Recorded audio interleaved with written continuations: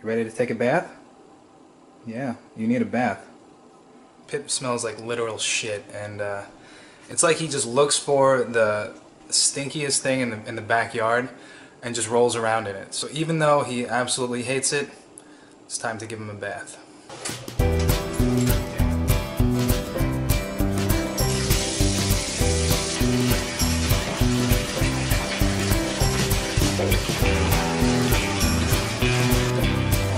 Pippy.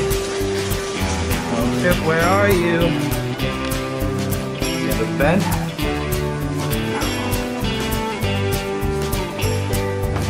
Pippy, it's time for a bath, you stinky little mutt.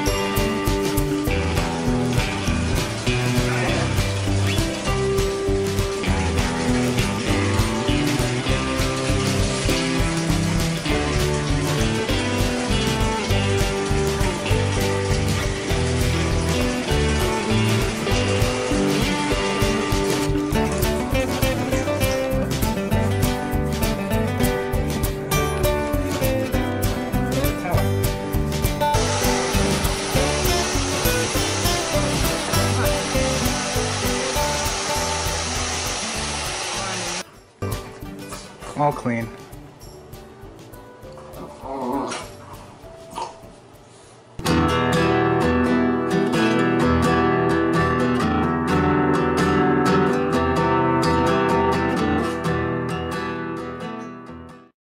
Alright, so I'm on a mission to find a handball court. Turn left onto East Um, Woodside Avenue. You know, in my late teens, early 20s, if you were looking for me, I was at the handball court. Where I grew up, there was at least four or five handball courts in the area. I was never very good at sports. Uh, I was terrible at football and baseball and all those things, but somehow I just got good at handball and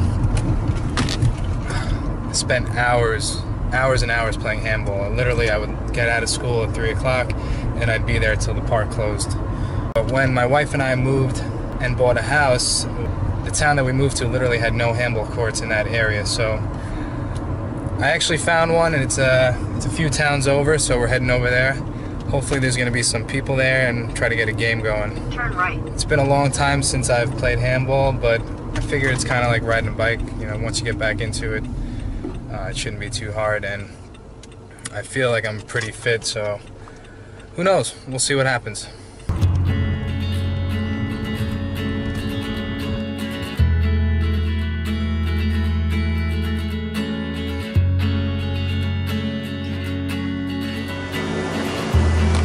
Cool little hidden park, and the handball court is just up that way.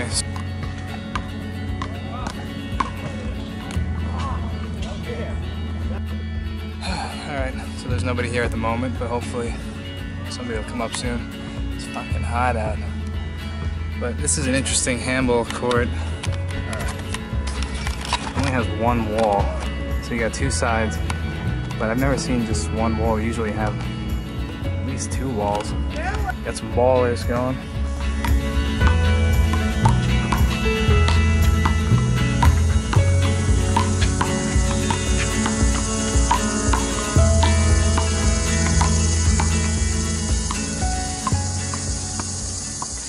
So anyways, handball turned out to be a bust. Uh, does anyone even play handball anymore? Am I, am I the only one that's interested?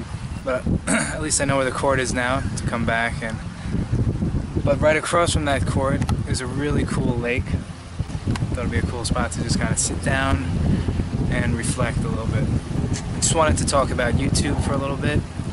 I just hit 200 subscribers and it's been it's been a real cool experience. It really feels like a community. There's so many cool people that I've met and you know and watched their channels develop and it's just really cool to see this this community of people that are just trying to better themselves and improve themselves and push themselves to the limit.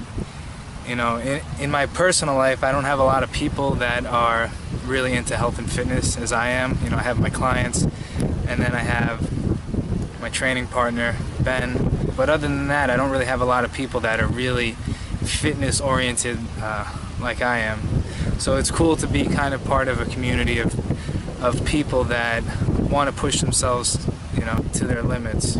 So anyways, I just want to say thank you to anyone who has subscribed to the channel and continues to come along for the ride and and for those of you who I've subscribed to as well. Uh, it's really cool to be part of this, to see you guys improving and and I, I just want to say I really do watch everyone's video that I'm subscribed to. I try to take time out of my day and just watch any new videos that were posted and and leave some feedback because I really believe that whatever you put into something is what you get out of it. So if you want your channel to grow and if you want to be part of this community, you have to support the community as well and and be as active as possible in the community. So anyways, I'm gonna enjoy the rest of this beautiful day by the lake.